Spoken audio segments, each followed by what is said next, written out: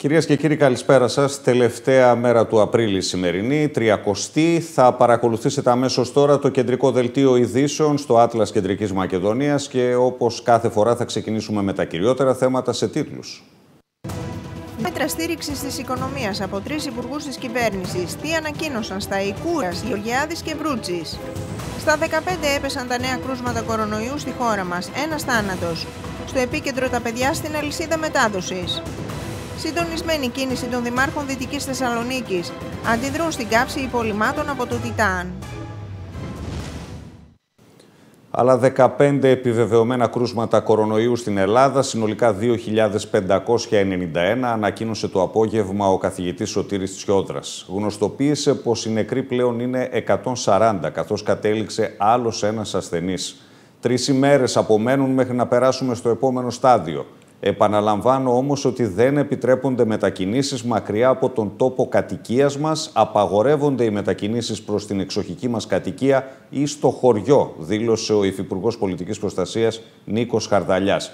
Τα μέτρα αποστολής του SMS ισχύουν στη διάρκεια του τριημέρου, όπως και οι υπόλοιποι περιορισμοί στις μετακινήσεις. Σήμερα ανακοινώνουμε 15 νέα κρούσματα του νέου ιού στη χώρα. Ο συνολικός αριθμός των κρουσμάτων είναι 2.591, εκ των οποίων το 56% αφορά άνδρες. 591 θεωρούνται σχετιζόμενα με ταξίδι από το εξωτερικό και 1.286 σχετιζόμενα με ήδη γνωστό κρούσμα. 38 συμπολίτες μας νοσηλεύονται διασωληνωμένοι. Η διάμεση ηλικία τους είναι 67 ετών. 10 είναι γυναίκες και οι υπόλοιποι άνδρες. Το 87% έχει υποκείμενο νόσημα. Είναι ηλικιωμένοι 70 ετών και άνω. 74 ασθενείς έχουν εξέλθει της ΜΕΘ. Τέλος, έχουμε έναν ακόμα καταγεγραμμένο θάνατο και 140 θανάτους συνολικά στη χώρα. 37 ήταν γυναίκες, το 26,4% και οι υπόλοιποι άνδρες. Η διάμεση ηλικία των θανόντων συμπολιτών μας ήταν τα 74 έτη και το 92% είχε κάποιο υποκείμενο νόσημα ή και ηλικία 70 ετών και άνω. Έχουν συνολικά ελεγχθεί 75.170 κλινικά δείγματα. Έως σήμερα έχουν αναρρώσει 1.374 άτομα. Έχουν πάρει εξαιτήριο σπίτι τους 428 ασθενείς μετά από νοσηλεία, ενώ 946 θετικοί ασθενείς έχουν αναρρώσει το σπίτι τους. Προσπαθούν κάποιοι κύκλοι να τονίσουν υπέρμετρα τις επιστημονικές αβεβαιότητες, δεν τις ξέρουμε δηλαδή εμείς. Και να βγάλουν αντιφάσεις προς τα έξω, προς τον κόσμο. Να κλονίσουν την εμπιστοσύνη του κόσμου με ψευδοεπιστημονικά επιχειρήματα που εκφράζουν την αγωνία, γιατί εμείς δεν έχουμε αγωνία. Πιστέψτε με, αντίθετα με την επιθυμία μας, είναι πιστό σύντροφος όλων μας, στην κοινή προσπάθεια. Ελπίζω πως δεν είναι στην πρόθεση όσων τα χρησιμοποιούν να λειτουργήσουν με διαλυτικό σκοπό, να κλονίσουν την προσέγγιση και τη στρατηγική μας. Δεν νομίζω ότι θα μπορούσα να το πω πιο καθαρά. Είμαστε συμμέτοχοι σε μια κοινή προσπάθεια, για την οποία από τα βάθη της καρδιάς μου σας ευχαριστώ. Τρεις ημέρες μένουν για να ολοκληρώσουμε το πρώτο τμήμα της προσπάθειάς μας και να περάσουμε στο επόμενο στάδιο. Είναι σίγουρο ότι η κόπωση μας έχει καταβάλει όλους και πως όλοι θα θέλαμε να περάσουμε αυτές τις τρεις ημέρες διαφορετικά. Ας σκεφτούμε όμως ότι κάθε μέρα που μένουμε σπίτι κάνει ακόμα πιο ισχυρά τα θεμέλια πάνω στα οποία θα στηριχθούμε για να κάνουμε το επόμενο βήμα από Δευτέρα. Αύριο υποδεχόμαστε την Πρωτομαγιά με καιρό πραγματικά ανοιξιάτικο. Όπως και το Πάσχα, θα περάσουμε την αυριανή μέρα διαφορετικά. Είτε στο σπίτι, είτε μια βόλτα γύρω από αυτό, στο πλαίσιο αυτών που προβλέπονται. Επαναλαμβάνω ότι δεν επιτρέπονται μετακινήσεις μακριά από τον τόπο μόνιμης κατοικίας μας. Δεν επιτρέπεται να πάμε ούτε στο εξοχικό, πόσο μάλλον στο χωριό. Την Πρωτομαγιά επίσης γίνονται κάθε χρόνο μεγάλες συγκεντρώσει από πολιτικά κόμματα, από οργανώσεις και συνδικάτα. Φέτος είναι αλλιώς. Προσβλέπουμε ότι όλα τα σωματεία των εργαζομένων αλλά και όλες οι πολιτικές δυνάμεις θα αναγνωρίσουμε τη στάση τους στην κρισιμότητα των στιγμών, τους κινδύνους πρώτα απ' όλα για τα ίδια τα μέλη τους και θα συμβάλλουν στην προστασία της ανθρώπινης ζωής. Θα σεβαστούν τη συλλογική προσπάθεια και τον αγώνα γιατρών, νοσηλευτών και όλων εκείνων που κάνουν τα πάντα για την αποφυγή διασποράς του ιού. Θέλω να υπενθυμίσω για ακόμη μια φορά ότι μέχρι τη Δευτέρα ισχύουν στο ακέραιο τα περιοριστικά μέτρα κίνησης, άρα μέχρι τότε απαιτείται έντυπο και SMS για κάθε αναγκαία μετακίνηση. Σύνδεση με τον βουλευτή στη δεύτερη εκλογική περιφέρεια Θεσσαλονίκη τη Νέα Δημοκρατία, τον Σάβα Αναστασιάδη. Κύριε Αναστασιάδη, καλησπέρα σας. Καλησπέρα. Καλησπέρα. Χρόνια πολλά και καλή πρωτομαγιά αύριο. Να είστε καλά. Θα δανειστώ αιτιάσεις από τις σημερινές τοποθετήσεις Τσίπρας στη Βουλή για να μπορέσω να κάνω το δικηγόρο του διαόλου στην συζήτησή μας. Καταρχάς, ο αρχηγός της εξωματικής αντιπολίτευσης έλεγε σήμερα το πρωί στον Πρωθυπουργό να μην πανηγυρίζετε και πολύ, γιατί κάνατε κάτι αυτονόητο. Γιατί πρέπει δηλαδή να σας χειροκροτάει κάποιος. Μάλιστα, είδα ότι σε κάποια στιγμή είπε επιλέξει να σας ανάψουμε ένα κερί, να κάνουμε μια προσευχή, να σας έχει καλά η Παναγία. Με ισχυρή δόση ηρωνίας. Κοιτάξτε, αν ο κύριος Τσίπρας θεωρεί αυτονόητα όλα αυτά τα μέτρα που έχουν πάρθει στην ώρα τους, τολμηρά και σκληρά θα έλεγα και, τον, και γνωρίζουμε όλοι και γνωρίζετε πως το, την, τον πρώτο καιρό η κοινωνία αντέδρασε. Ε, ε, αν θεωρεί αυτονόητο ότι κάτω από την καθοδήγηση της επιστημονικής κοινότητας είμαστε σήμερα ε, ε παγκόσμια σε, σε παγκόσμιο αλλά και σε πανευρωπαϊκό επίπεδο χώρα πρότυπο και παράδειγμα με τον τρόπο που διαχειριστήκαμε την ε, κρίση και βρισκόμαστε στις καλύτερες ε, θέσεις παγκοσμίως, νομίζω ότι δεν χρειάζεται σχολιασμό. Ο κύριος Τσίπρας είναι αρχηγός της αξιωματικής αντιπολίτευσης, βεβαίως και είναι κατανοητό, θα έπρεπε να πει ε, κάτι. Μικρόψυχα και μίζερα αντιμετώπισε όλη αυτή την προσπάθεια που έγινε που είναι ε, βεβαίως ε, ε, πρωτοβουλίες της κυβέρνησης αλλά οφείλονται και σε όλο τον ελληνικό λαό που έδειξε μια απίστευτη υπευθυνότητα, πειθαρχία και σύνεση γι' αυτό και έχουμε αυτό το αποτέλεσμα που έχουμε που εγκομιάζεται παγκοσμίως. Γι' αυτό και η χώρα μας σήμερα θεωρείται η πιο ασφαλής χώρα έχει πάρει φήμη και υπεραξία η οποία θα μας βοηθήσει και στο επόμενο βήμα σε αυτό που θα μπούμε από την Δευτέρα και ναι. στις 4 Μαΐου και μετά. Κύριε Αναστασιάδη, υπήρξε εμπλοκή στην συζήτηση με τους θεσμούς για την προστασία της πρώτης κατοικίας; Φαίνεται το πήρε πάνω του ο Πρωθυπουργός και αποφάσισε μονομερός την παράταση κατά τρεις μήνες. Μέσα σε αυτή την κατάσταση με μια πανδημία να έχει ισοπεδώσει τον πλανήτη δεν θα μπορούσε να γίνει κάτι καλύτερο. Ενδεχομένως να μπορούσε να έχει γίνει και κάτι καλύτερο. Η κυβέρνηση κάνει προσπάθειες. Είπατε πολύ σωστά ότι ο Πρωθυπουργός το πήρε ε, πάνω του και ανακοίνωσε μονομερός και αν χρειαστεί θα το κάνει και μετά τις, 20, ε, ε, μετά τις 30 Ιουλίου, 31 ναι. Ιουλίου, το τρίμηνο δηλαδή, ναι. γιατί βρισκόμαστε και είναι γνωστό, κατανοητό αυτό από όλους, σε, σε μια μεγάλη κρίση υγειονομική καταρχήν, η οποία εξελίσσεται και σε οικονομική κρίση. Αυτό θα αντιμετωπίσουμε το επόμενο διάστημα και μέσα σε ένα τέτοιο περιβάλλον πρέπει να προστατεύσουμε τις αδύναμες κοινωνικές ομάδες και κυρίως το δικαίωμα στην ε, πρώτη κατοικία. Ναι. Αυτή ήταν η πρωτοβουλία του Πρωθυπουργού Άκουγα τον κύριο Σταϊκούρα. Το κρατάω αυτό που λέτε γιατί είναι σημαντικό. Φαντάζομαι αν χρειαστεί θα πιέσετε κι εσείς από την πλευρά σας. Αν και νομίζω ότι δεν μπορεί όσο και να θέλει να εθελοτυφλεί το ευρωπαϊκό σύστημα δεν μπορεί να μην καταλαβαίνει τι γίνεται. Τέλος πάντων θα το δούμε μέχρι το τέλος Ιουλίου. Άκουγα τον κύριο Σταϊκούρα. Ας πούμε ότι δεν νοιάζεται. Ναι, Άκουγα τον κύριο Σταϊκούρα να λέει ότι ε, δεν υπάρχει θέμα, δηλαδή μπορούμε να απομονώσουμε αυτούς που όντως έχουν πραγματικά, πραγματικά ανάγκη από τους στρατηγικούς κακοπληρωτές. Έχω βαρεθεί να ακούω για αυτούς τους στρατηγικούς κακοπληρωτές. Πόσα χρόνια χρειάζεται για να τους βρούμε επιτέλους. Νομίζω είναι γνωστή. Όχι νομίζω, πιστεύω ότι είναι γνωστή. Αλλά περιμένουμε την εξέλιξη και το, το επόμενο βήμα. Είναι γνωστή και βεβαίως θα προστατευτούν αυτοί που έχουν πραγματικά ανάγκη και όχι αυτοί που ε, μπορούν αλλά εκμεταλλευόμενοι την ε, περίοδο και την κατασταση δεν πληρώνουν. Αυτό το ζήσαμε τα, τα 10 προηγούμενα χρόνια την περίοδο της ε, οικονομικής κρίσης. Εντοπίστηκαν κάποιοι, περιορίστηκαν, παρόλα αυτά υπάρχουν και αυτοί οι έξυπνοι μέσα σε εισαγωγικά. Ναι.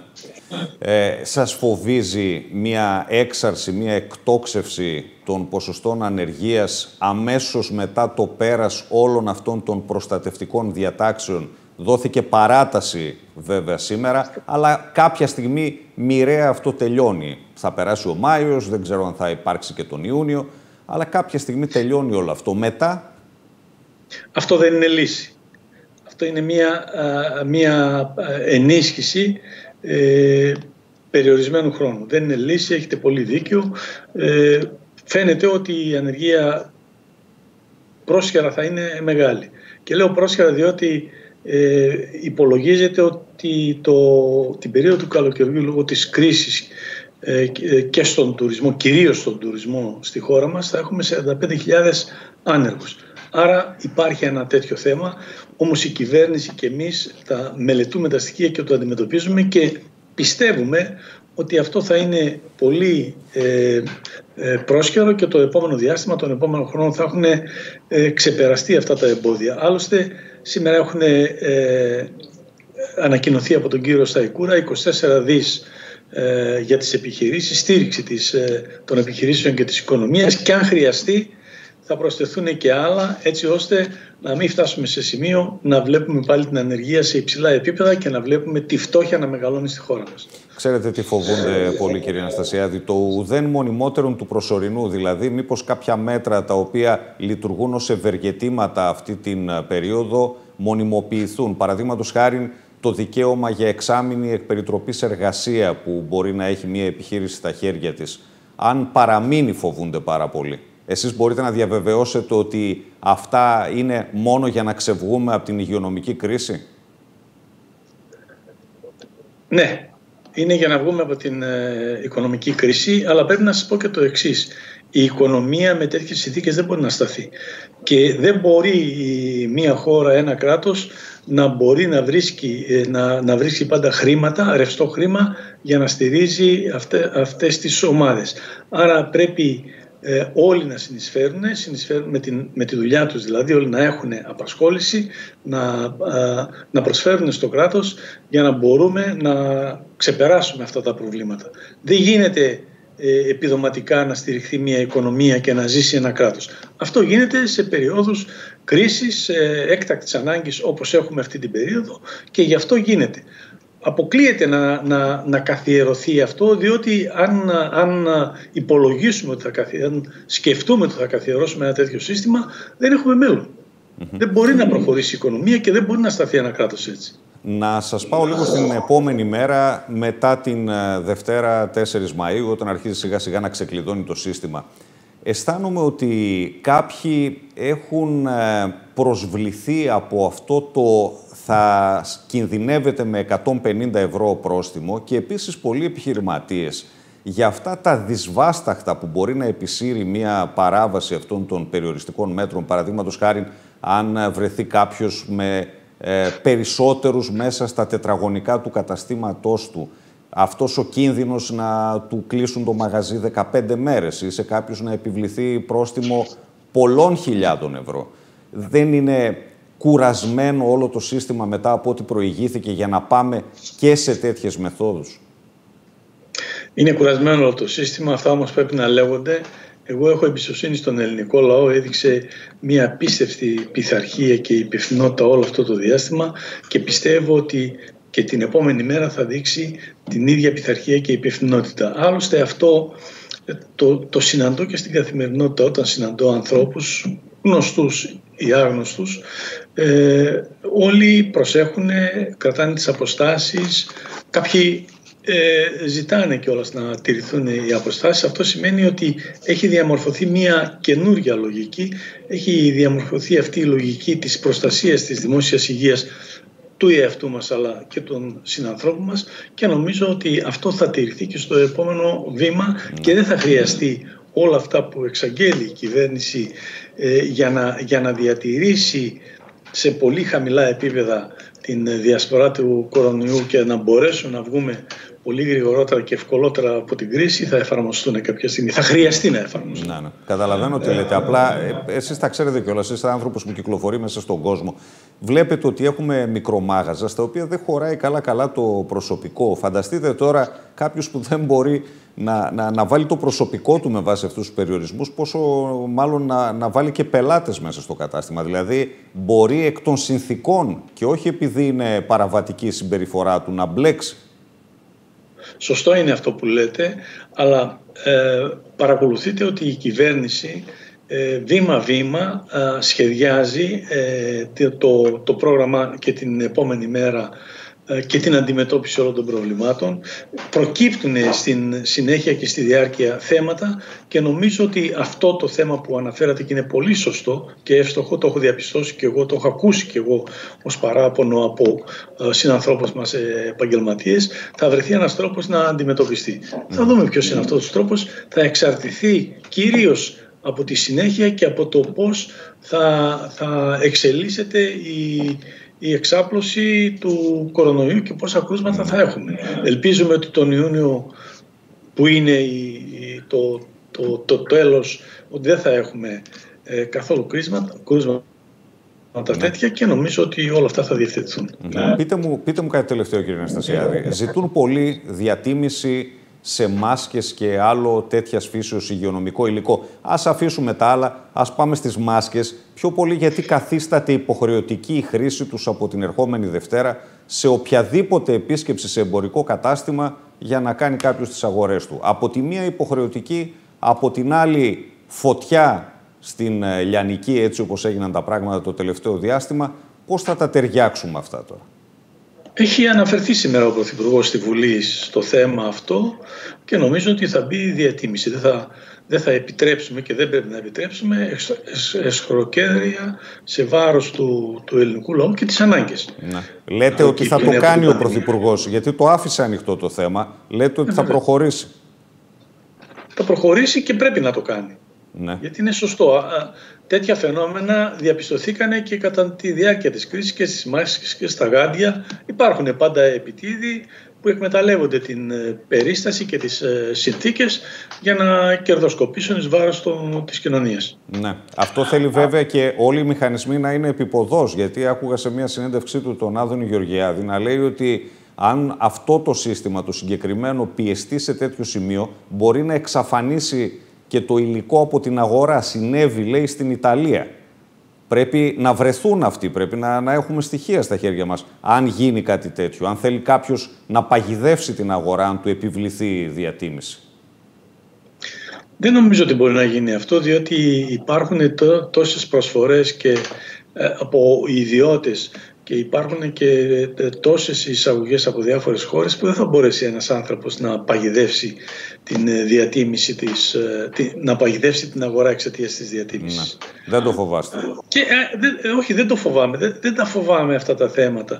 Αυτό που με ασχολεί περισσότερο και πιστεύω ότι θα πάει καλά είναι η πειθαρχία του ελληνικού λαού και ο φόβος που έχουμε κυρίως στο τριήμερο και γι' αυτό τηρηθήκαν και τα μέτρα να μην έχουμε Ξέρετε, μετά από πολύ κλείσιμο της κοινωνίας στα σπίτια θα υπάρχει μια έξαρση. Ναι. και λογικό είναι αυτό να, να τηρηθούν τα μέτρα και βεβαίως να, να μπορέσουμε να στηρίξουμε τις ε, ε, επιχειρήσεις μικρές και μεγάλες και τους εργαζόμενους για να πάμε στην επόμενη μέρα και να αρχίσει βήμα-βήμα και η οικονομική ανάπτυξη, ανάκαμψη, διότι ο κορονοϊός υποχωρεί σιγά σιγά κάθε μέρα το παρακολουθούμε, το βλέπουμε, υποχωρεί. από εμάς εξαρτάται να τον εξαφανίσουμε το επόμενο διάστημα.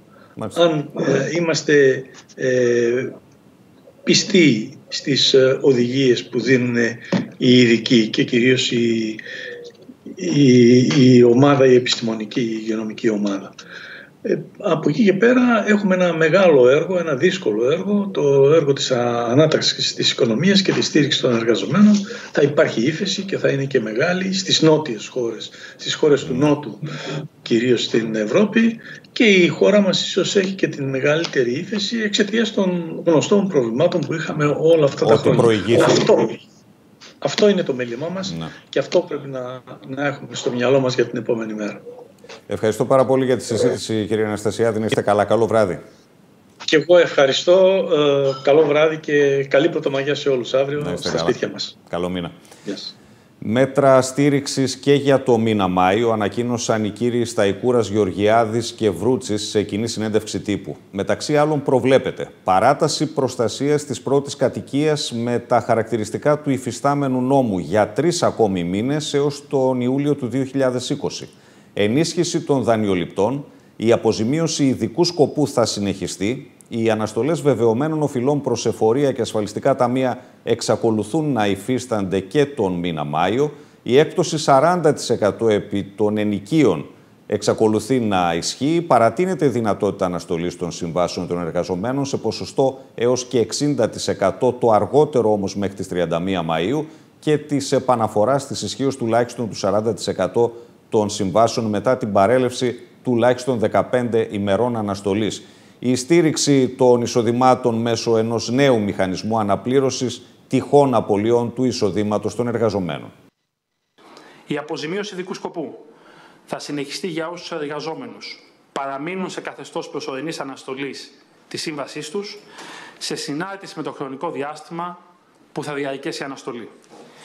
Οι επιχειρήσεις που κάνουν χρήση του μέτρου αυτού υποχρεούνται να μην προβούν σε μειώσεις του προσωπικού τους, ώστε να διασφαλίζεται η διατήρηση των θέσεων εργασίας και του είδους της σύμβασης εργασίας.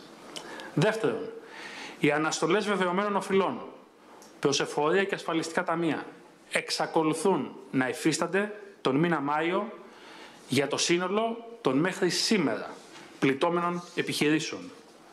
Τρίτον, η έκπτωση 40% επί του ενοικίου της επιχείρησης, όπως και της πρώτης κατοικίας και της φοιτητικής κατοικίας τέκνων των εργαζομένων της, συνεχίζει να υφίσταται και τον μήνα Μάιο για το σύνολο των μέχρι σήμερα πληττόμενων επιχειρήσεων. Για τις επιχειρήσεις που θα ανοίξουν τον Μάιο, το συγκεκριμένο μέτρο δεν θα επαναληφθεί για τους επόμενους μήνες. Τέταρτον, θεσπίζεται, ανάλογα με την χρονική στιγμή υλοποίησης των σχετικών ευρωπαϊκών αποφάσεων, μηχανισμός υποστήριξης της απασχόλησης με την μορφή οικονομικής ενίσχυσης της εργασίας με στόχο την τόνωση των εισοδημάτων των εργαζομένων. Για το σκοπό αυτό θα αξιοποιηθεί πρωτίστως το νέο ευρωπαϊκό εργαλείο, το ΣΟΥΡ, όταν είναι έτοιμο. Πέμπτον, δρομολογείται εντός των επόμενων δύο μηνών μία δεύτερη επιστρεπτέα προκαταβολή όπου μπορούν να συμμετάσχουν όλες οι επιχειρήσεις. Έκτον, υλοποιούνται εντός Μαΐου στοχευμένες κλαδικές πολιτικές σε τομείς που υφίστανται τα μεγαλύτερα οικονομικά πλήγματα όπως είναι ενδεικτικά ο τουρισμός, οι μεταφορές, τμήματα του πρωτογενούς τομέα. Έβδομον, παρατείνεται η προστασία της πρώτης κατοικίας με τα χαρακτηριστικά του υφιστάμενου νόμου για τρεις ακόμα μήνες έως το τέλος Ιουλίου 2020. Το Υπουργείο Εργασίας και Κοινωνικών Υποθέσεων στη νέα φάση που εισέρχεται η οικονομία καλύτερα να κινηθεί σε τρεις άξονες. Πρώτον, στη συνέχιση στήριξης των θέσεων εργασίας των επιχειρήσεων. Δεύτερον, στη στήριξη των εισοδημάτων μέσω ενός νέου μηχανισμού αναπλήρωσης τυχών απολειών του εισοδήματος των εργαζομένων. Και τρίτον, στην προστασία της υγείας και της ασφάλειας των εργαζομένων με πλήρη εφαρμογή των μέτρων πρόληψης της διασποράς του ιού στους εργασιακούς χώρους. Πάνω στους παραπάνω άξονες και μέσα στο πλαίσιο της νέας φάσης αντιμετώπισης των επιπτώσεων του κορονοϊού και της έκδοσης της νέας πράξης νομοθετικού περιεχομένου ανακοινώνω τα εξής παρακάτω. Πρώτον, μέτρα για την υγεία και, ασφάλιση και ασφάλεια στους εργασιακούς χώρους. Δεύτερον, μηχανισμό στήριξης των εισοδημάτων των εργαζομένων. Τρίτον, διατήρηση των θέσεων εργασίας και ωράριο εργασίας. Τέταρτον, στήριξη της επιστημονικής κοινότητας και ειδικών κατηγοριών. Και τέλος, για τις κλεδικές συμβάσεις εργασίας. Παρατείνεται έως και τις 36 του 2020 η ισχύς των κανονιστικών όρων των συλλογικών συμβάσεων εργασίας και των διαιτητικών αποφάσεων, οι οποίες έλεξαν στο διάστημα από 28 Δευτέρου 2020 έως 30 Τετάρτου 2020 με σκοπό να δοθεί επαρκής χρόνος στους κοινωνικούς εταίρους ώστε να προβούν σε συλλογικές διαπραγματεύσεις για τη σύναψη νέων συμβάσεων. Συνομιλούμε αμέσως τώρα, κυρίες και κύριοι, με τον Λεωνίδα Στολτίδη, τον βουλευτή του Κομμουνιστικού Κόμματος στη δεύτερη εκλογική περιφέρεια της Θεσσαλονίκης. Κύριε Στολτίδη, καλησπέρα σας. Καλησπέρα. Να ξεκινήσω λίγο με τα πρωτομαγιάτικα. Γιατί δεν συμμορφώνεστε με τα περιοριστικά μέτρα και θέλετε οπωσδήποτε να τηρήσετε το πρόγραμμα το οποίο συνηθίζεται την ε, Πρωτομαγιά κάθε χρόνο; Δεν είναι ίδια τα πράγματα φέτος. Καθόλου δεν είναι ίδια και γι' αυτό είναι πιο επιτακτική ανάγκη να προταχθούν ε, οι ανάγκες του λαού μας, του εργαζόμενου κόσμου. Θεωρούμε προσχηματικό το ότι ούτως ή άλλως το αντιλαμβάνεται εύκολα ο καθένας ότι δύο-τρεις μέρες δεν αλλάζουν σε τίποτα σε σχέση με τα επιστημονικά δεδομένα, γιατί θα έχουμε μια διάρκεια αντιμετώπισης μιας πανδημικής κρίσης η οποία μπορεί να πάρει πολύ μεγάλο χρονικό βάθος.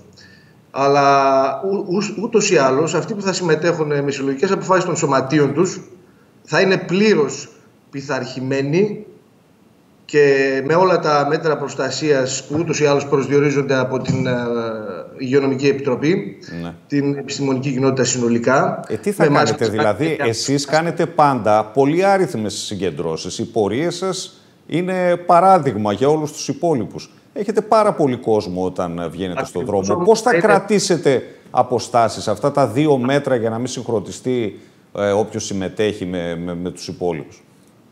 Ακριβώς γιατί είναι σχεδιασμένο έτσι.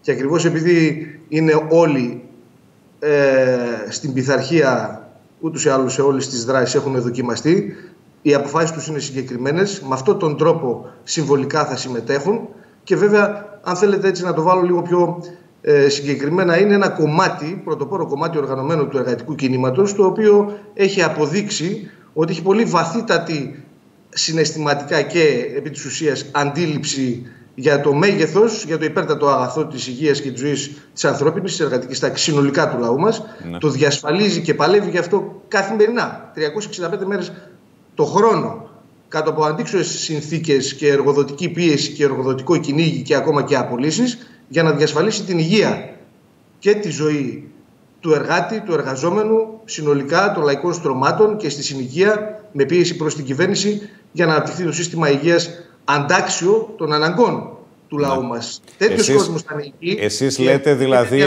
Επειδή... Για να ολοκληρώσω και με ναι. αυτή την έννοια, αν θέλετε και σε σχέση με αυτό που θα πρέπει να αναφέρουμε, γιατί αποτελούν και εμπεγμό να τα ε, ε, διαχειρίζεται με τον τρόπο η κυβέρνηση, θα είναι το πιο ασφαλές μέρος για τη διασφάλιση και της υγείας και της ζωής του ελληνικού λαού, αλλά και βέβαια το σημείο το οποίο ουσιαστικά θα αναδειχθεί τιμώντας τους ήρωες, τους νεκρούς της τάξης μας, ότι δίνουμε μια υπόσχεση ότι θα συνεχίσουμε και ότι κάτω από οποιασδήποτε συνθήκες του εργατικού συνδικαλιστικού κίνημα και δεν θα φημωθεί και θα βάλει πολύ πιο δυνατά και αποφασιστικά τις διεκδικήσεις του γιατί ακριβώς και αυτή η πανδημία έχει δείξει ότι όσο το αφήνει το καπιταλιστικό σύστημα να βρίσκεται σε, και να βαθαίνει η σύψη του, η ζωή του, η υγεία του, συνολικά η επιβίωσή του, οι εργασιακές τους συνθήκες κατευθύνονται ηλικιωδώς προς τον πάτο.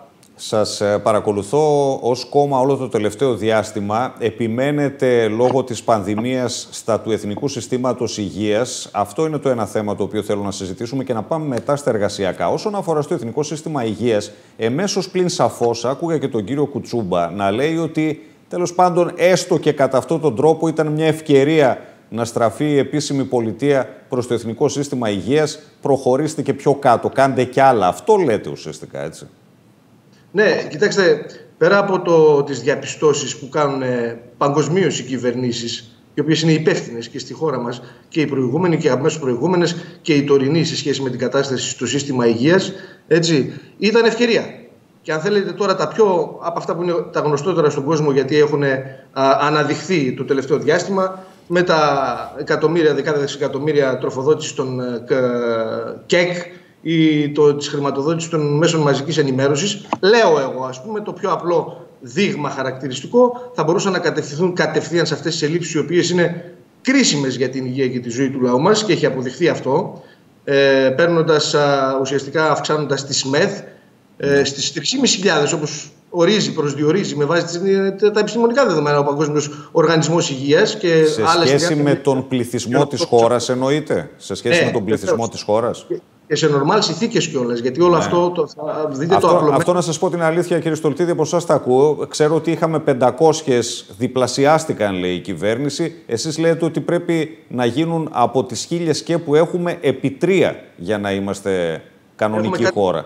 Παραπάνω από 500 ε, δεν νομίζω ότι έγινε τόσο. Τέλος πάντων, δεν θα φέρω αντίρρηση αυτό. Ναι. Και βέβαια προσδιορίζεται επίσημα και οι ελλείψεις γενικώ σε υγειονομικό προσωπικό 25 με 30 χιλιάδες. Συνολικά υγειονομικό προσωπικό. Αυτό τι σημαίνει; Αυτό σημαίνει ότι είναι απλωμένο το δίχτυ προστασίας του λαού στην πρωτοβάθμια φροντίδα υγείας. Από εκεί δηλαδή που ξεκινάει το πρόβλημα να ελέγχεται, να διασφαλίζεται ότι θα προφυλαχθεί και ω όλη του την πορεία ουσιαστικά ότι θα πάρθουν εκείνα τα μέτρα να μην φτάσει να θεωρείται κάποιος ευπαθής ομάδα. Άρα οι ευπαθείς ομάδες με, ένα, με έναν τρόπο δεν μπορούμε να τις βλέπουμε σαν καιρικό φαινόμενο. Είναι συνολικά η έλλειψη του συστήματος και βέβαια η, το όργιο της υπερεκμετάλλευση και οι όροι, οι συνθήκες δουλειάς και ζωής και η σύγχρονη ε, σε σχέση με την ε, προσβολή της υγείας του από πολλούς παράγοντες. Με αυτή την έννοια ναι. ήταν προφανώς μια καλή καιρικό, ευκαιρία. Καιρικό φαινόμενο όταν λέτε με την έννοια ότι τώρα είναι μια πανδημία κορονοϊού, αύριο μπορεί να είναι κάτι άλλο, μεθαύριο κάτι άλλο και δεν μπορείς να τρέξεις τελευταία στιγμή, αυτό λέτε. Α, πολύ σωστά το λέτε. Δηλαδή, εδώ πρέπει να λάβουμε υπόψη ότι αυτά τα δεδομένα προσδιορίζονται από την επιστημονική κοινότητα με, πιο, με ποια λογική, ότι καλύπτουν συνολικά τις ανάγκες της στοιχειώδης. Γιατί αν έχουμε αύριο ένα σεισμό, μια πλημμύρα, μια πυρκαγιά που έχουμε ζήσει, ο λαός μας θα πρέπει οι χιλιάδες που θα πληγούν, γιατί έτσι είναι τα επικίνδυνα μαζικά, ο μαζικός κίνδυνος από τέτοια φαινόμενα, θα, θα, θα, θα, θα έχουν ένα σύστημα να αντιμετωπίσει ουσιαστικά μια τέτοια κατάσταση με 100 κλίνες στη Θεσσαλονίκη, ας πούμε, έτσι, για να το κάνουμε λίγο πιο σχηματικό. Ναι. Άρα, στην κατεύθυνση αυτή των ελλείψεων και της κάλυψης αυτών των κενών και τέλος πάντων της προώθησης ενός συστήματος υγείας το οποίο και τον επόμενο κορονοϊό, την επόμενη πανδημία ενδεχόμενα ή την επόμενη φάση της ή οποιαδήποτε άλλη κατάσταση η οποία ούτως ή άλλως θα έρθει, το πότε δεν ξέρουμε, να θωρακιστεί, μένει πάλι απογυμνωμένος από ό,τι έχει σχέση να κάνει με την κάλυψη αυτής της μέγιστης mm-hmm. ανάγκης της διασφάλισης της υγείας και της ε, ζωής του. Ναι. Να σας ε, πάω, να σας πάω λίγο, στα, λίγο στα εργασιακά για να προλάβουμε και αυτό το κεφάλαιο. Ναι, παρακαλώ. Εκεί θα πήγαινα, θα το έδαινα, ναι, πείτε μου. Ναι, ε, θέλω να σας ρωτήσω, γιατί είστε τόσο επιθετικοί σε μια τέτοια κατάσταση; Να σας πω ακριβώς τι εννοώ. Προφανώς κανένας δεν είναι ευχαριστημένος με το να μην πηγαίνει καλά η επιχείρησή του. Όλοι θα ήθελαν, φαντάζομαι, να διατηρούν θέσεις εργασίας. Κανένας δεν είναι ευχαριστημένος να απολύει προσωπικό. Είναι ειδικές συνθήκες. Εσείς όμως φοβάστε ότι αυτές μπορεί να μονιμοποιηθούν. Δεν, δεν, ε, δεν το δέχεστε ότι είναι κάτι το οποίο είναι προσωρινό; Δεν θα είναι, θα το δείτε. Δεν θυμάμαι πότε έπεσε το Κομμουνιστικό Κόμμα Ελλάδος έξω. Γιατί και όχι, και αυτό δεν είναι λόγω μαντικών ικανοτήτων προφανώς έτσι, σε καμία περίπτωση. Είναι γιατί έχει πολύ συγκεκριμένες βαθύτατες επεξεργασίες για τον τρόπο κίνησης των πραγμάτων. Και βέβαια στην προκειμένη περίπτωση, για να το απλοποιήσουμε, πρέπει να λάβουμε υπόψη την ε, βασική αξίωση συνολικά της εργοδοσίας και δεν μιλάμε τώρα για τη συντριπτική πλειοψηφία των αυτοαπασχολούμενων που είναι μικροί στα όρια της επιβίωσης και οι συνθήκες εργασίας τους και η δραστηριότητάς τους επιχειρηματικής προσυδειάζει στη ζωή της εργατικής τάξης. Έτσι, μιλάμε για τους μεγάλους επιχειρηματικούς ομίλους.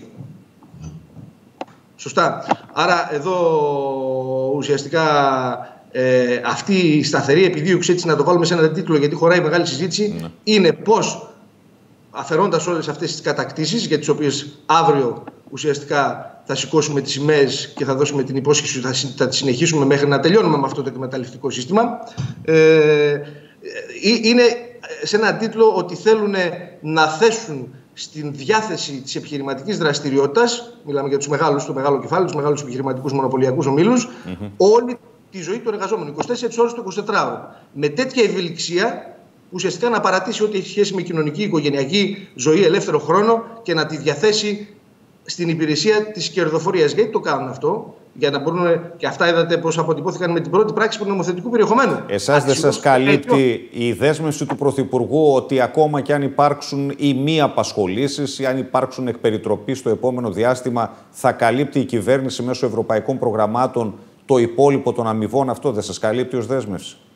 Κοιτάξτε τώρα, άμα είναι να φτάσουμε τον μισθό του ιδιωτικού τομέα γενικώ να τον πληρώνει το δημόσιο, δηλαδή να πληρώνουμε εμείς τον ίδιο μας τον μισθό, γιατί κόψε από τις ασφαλιστικές εισφορές, κόψε από το επιδότησε τον μισθό, επιδότησε την επιχειρηματική δραστηριότητα, ε, φόρτωσε στο λαό τα επιχειρηματικά δάνεια και τις αστοχίες.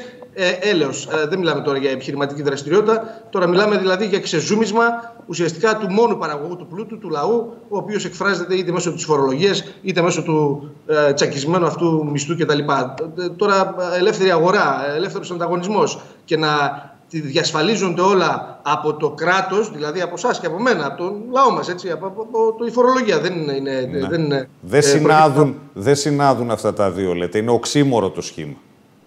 Βεβαίως. Είναι οξύμορο. Εντελώς οξύμορο, αλλά για μας είναι ξεκάθαρο. Οξύμορο ε, θα έπρεπε να είναι προφανώς για τον κόσμο που βλέπει ότι τέλος πάντων αυτοί που ουσιαστικά συσσόρευσαν απίστευτο πλούτο το προηγούμενο διάστημα, μετατρέποντάς το σε ανεργία, σε τσακισμένους μισθούς, σε τσακισμένες εργασιακές σχέσεις, να έρχονται τώρα ουσιαστικά αυτοί που έχουν συσσωρευμένο πλούτο να ζήσουν για τα επόμενα 500 χρόνια να λένε απάλαξέ με από τις, ε, πώς το λένε, από τις υποχρεώσεις μου και φόρτωσέ τες σε αυτόν που ουσιαστικά και 800 να έπαιρνε και 700 και 1000 δεν μπορούσε να βγάλει το μήνα, δεν μπορούσε να βγάλει το 15 μέρο. Γιατί περί αυτού πρόκειται, γι' αυτό μιλάμε. Ε, λέμε όμως εδώ για να ξεκαθαριστεί, να μην μπερδευόμαστε. Ναι. Το, δεν μιλάμε βέβαια για τους μεγάλη συντριπτική πλειοψηφία του λαού μας, ναι. οι οποίοι είναι αυτοαπασχολούμενοι. Έτσι. Ναι, ναι, το έχετε και ξεκαθαρίσει αυτό. Ούτως ή άλλως είναι δορυφόροι στην ε, δραστηριότητα των επιχειρηματικών ομίλων ναι. και μέσω του κράτους τους ορίζεται πόσο θα δουλεύουν, πόσο τι, μισθό, τι εισόδημα θα έχουν, πόσο θα φορολογούνται και ουσιαστικά βρίσκονται στην ίδια κατάσταση. Γι' αυτό λέμε ότι είναι και θα πρέπει να βρεθούν γρήγορα σε κοινή συμμαχία με την ε, εργατική τάξη, γιατί έχουν απολύτως τα ταυτισμένα συμφέροντα γιατί συνολικά συντρίβονται κάτω ακριβώς από την ίδια συνθήκη. Δηλαδή από την ανάγκη κερδοφορίας μιας χούφτας παράσιτων στην οικονομία που δεν έχουν σχέση ούτε με την παραγωγή ούτε με τίποτα. Μόνο με την ιδιοποίηση του πλούτου και των μέσων παραγωγής. Κύριε Στολτήρη, ευχαριστώ πάρα πολύ για τη συζήτηση. Να είστε καλά. Καλό βράδυ σας εύχομαι. Ευχαριστώ πολύ. Να είστε καλά κι εσείς. Με έναν πρωτότυπο και συμβολικό τρόπο, δημοτικές αρχές, πολίτες και φορείς της Δυτικής Θεσσαλονίκης διαμαρτυρήθηκαν σήμερα για το ζήτημα της καύσης απορριμμάτων στο Τιτάν. Η διαμαρτυρία πραγματοποιήθηκε μπροστά στο Δημαρχείο Παύλου Μελά στη Σταυρούπολη, όπου διεξήχθη ποδοσφαιρικός αγώνας ανάμεσα στις ομάδες Πρωτοβουλία κατά της καύσης και Τετάν. Διαιτητής του αγώνα ήταν το Υπουργείο Περιβάλλοντος και Ενέργειας. Μην παίζετε μπάλα στις πλάτες μας. Αυτό ήταν το μήνυμα που έστειλαν οι δήμαρχοι της Δυτικής Θεσσαλονίκης Δημήτρης Δεμουρτζίδης, Λάζαρος Κυρίζογλου Παντελή Τσακύρης και ο δήμαρχος Λαγκαδά Ιωάννης Ταχματζίδη. Μαζί τους ήταν οι εκπρόσωποι των παρατάξεων της αντιπολίτευσης αλλά και συλλογικών φορέων κατά της κάφη των υπολοιμάτων ανακύκλωσης RDF και SRF στις εγκαταστάσεις της τσιμεντοβιομηχανία Τιτάν στην Ευκαρπία. Αριστό οργανώθηκε και ένα συμβολικό ποδοσφαιρικό αγώνας με αντίπαλες ομάδες στην πρωτοβουλία κατά της καύσης και την ΤΕΤΑΝ. Διαιτητής του αγώνα επιλέχθηκε το Υπουργείο Περιβάλλοντος και Ενέργειας. Οι διοργανωτές θέλησαν έτσι να δείξουν ότι το αρμόδιο Υπουργείο δεν σφυρίζει με δίκαιο τρόπο. Τον αγώνα παρακολούθησαν οι δήμαρχοι μαζί με τους δημοτικούς συμβούλους, τους επικεφαλείς των παρατάξεων αλλά και πολίτες. Όλοι μαζί εξέφρασαν την αντίθεσή τους στην διαφαινόμενη αδειοδότηση του εργοστασίου στην Ευκαρπία για καύση πολυμάτων ανακύκλωσης υπό μορφή RDF και SRF. Έναν μήνα μετά από το αίτημά μας για την αναστολή της σχετικής απόφασης, το Υπουργείο δεν έχει δώσει τη συγκατάθεσή του στην αναστολή, επεσήμανε ο Δήμαρχος Παύλου Μελά Δημήτρης Δεμουρτζίδης.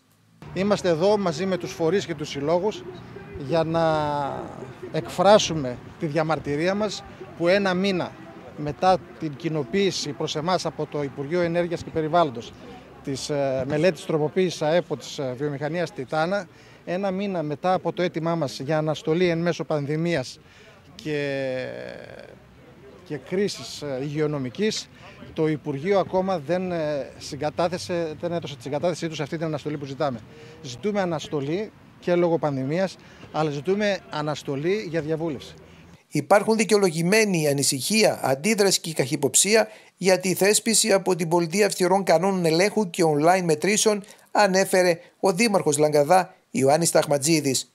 Το πρόβλημα το οποίο ανακύπτει και το ερώτημα δεν είναι αν ε, η καινούργια καύσιμη ύλη που θα χρησιμοποιηθεί στον Τιτάνα είναι καλύτερη από την προηγούμενη που χρησιμοποιούσε ο Τιτάνας, αλλά εάν και αυτό το καύσιμο δημιουργεί προβλήματα στη δημόσια υγεία. Εάν δηλαδή τα αιωρούμενα σωματίδια ή οι αέριοι ρήποι είναι τέτοιοι, οι οποίοι είναι επιβλαβείς για τη δημόσια υγεία. Εμείς θέλουμε να ακουστεί η χειρή αντίδραση των πολιτών, ούτως ώστε να ανασταλεί η απόφαση αδειοδότησης και να εξαντληθούν όλα τα περιθώρια διαβούλευσης, ώστε να καταλήξουμε σε κάτι κοινά αποδεκτό, ανέφερε ο Δήμαρχος Ορεοκάστρου Παντελίτσα Κύρι. Αυτό ζητάμε, να υπάρξει αναστολή και διαβούλευση, να εξαντληθούν τα περιθώρια της διαβούλευσης, έτσι ώστε εάν όντως η τεχνολογία έχει εξελιχθεί τόσο πολύ και είναι κάτι το οποίο εμείς δεν το γνωρίζουμε, να λάβουμε γνώση έτσι ώστε να μπορέσουμε να προχωρήσουμε στη συνέχεια αυτό για το οποίο το Υπουργείο αυτή τη στιγμή μας διασφαλίζει ότι είναι εντάξει. Έχει πάρει τεράστια έκταση το συγκεκριμένο θέμα και οφείλουμε όλοι να δράσουμε και να αντιδράσουμε με τέτοιο τρόπο ώστε πραγματικά να σταματήσει αυτή τη στιγμή η συγκεκριμένη εξέλιξη, να ακουστούν ηχηρά οι απόψεις των τοπικών κοινωνιών και να καταλήξουμε τελικά σε κάτι το οποίο θα είναι αμοιβαία αποδεκτό. Με δηλώσεις τους, οι επικεφαλεί των παρατάξεων του Δήμου Παύλου Μελά εξέφρασαν την έντονη αντίθεσή τους στην καύση υπολοιμάτων απορριμμάτων. Βρισκόμαστε εδώ και θα ήθελα να διατρανώσω την ε, θέση μας ότι είμαστε εναντίον της καύσης και οποιασδήποτε άλλης κατάστασης θέτει σε κίνδυνο έναν ολόκληρο πληθυσμό. Η Δυτική Θεσσαλονίκη αριθμεί πάνω από 305.000 κατοίκους και κάθε φορά βρίσκεται πρώτα τελεσμένο γεγονότων. Στην προκειμένη περίπτωση ήταν αδιανόητο αυτό που έγινε εν μέσω κρίσης και εν μέσω διαφόρων μέτρων τα οποία δεν επέτρεπαν στους κατοίκους να διαμαρτυρηθούν να πάρθει ένα τέτοιο μέτρο. Όπως σας ανέφεραν και οι προηγούμενοι ομιλητές, είμαστε κάθετα αντίθετοι στην καύση ε, στον ε, Τιτάνα.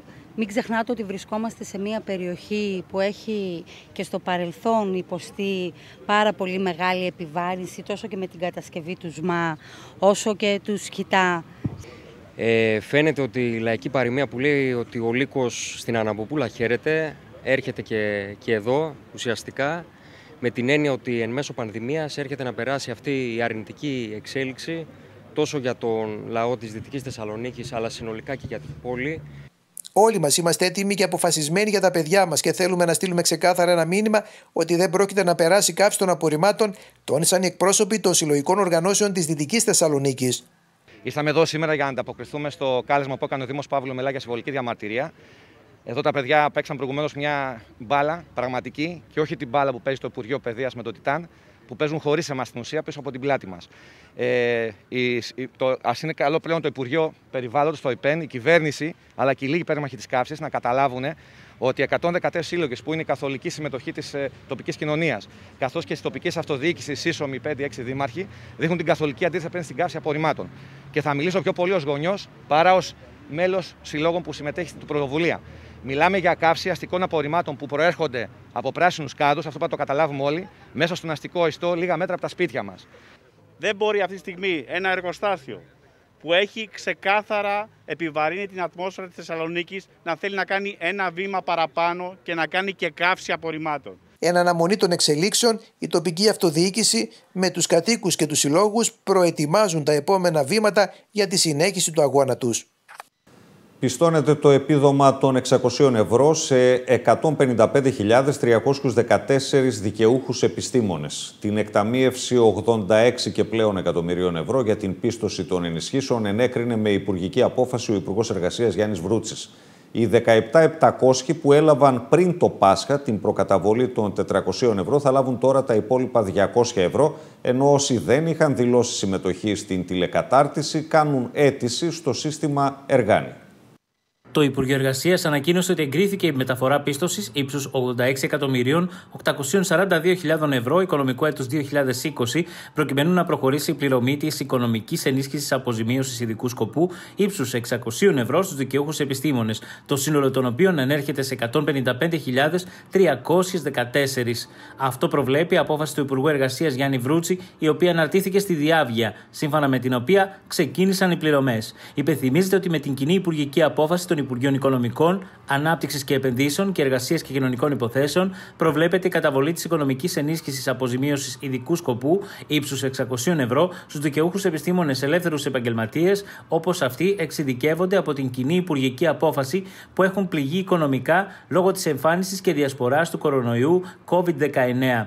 Δικαιούχοι της οικονομικής ενίσχυσης αποζημίωσης ειδικού σκοπού είναι οι επιστήμονες, ελεύθεροι επαγγελματίες, οι οποίοι εντάσσονται στους έξι βασικούς επιστημονικούς κλάδους της χώρας βάσει κωδικών αριθμών δραστηριότητας ΚΑΔ, κύριας επιχειρηματικής δραστηριότητας, όπως αυτοί περιγράφονται στο παράρτημα της κοινή υπουργικής απόφασης και σύμφωνα με την επιστημονική επαγγελματική ιδιότητά τους βάσει αφημί. Δικαιούχοι της οικονομικής ενίσχυσης είναι όλοι όσοι ετήθηκαν συμμετοχής στην πρόσκληση του Υπουργείου Εργασίας και Κοινωνικών Υποθέσεων χωρίς να χρειάζεται να να προβούν σε οποιαδήποτε άλλη ενέργεια. Όσοι από τους δικαιούχους είχαν αιτηθεί τη συμμετοχή τους και τους καταβλήθηκε το ποσό των 400 ευρώ ως προκαταβολή, τους καταβάλλεται το ποσό των 200 ευρώ για την αποπληρωμή του ποσού της οικονομικής ενίσχυσης αποζημίωσης ειδικού σκοπού των 600 ευρώ. Όσοι δικαιούχοι της οικονομικής ενίσχυσης αποζημίωση ειδικού σκοπού δεν είχαν λάβει μέρος στην πρόσκληση, δύναται μέχρι τις 8 Μαου να υποβάλουν ηλεκτρονική αίτηση στο περιβάλλον του πληροφοριακού συστήματος Εργάνη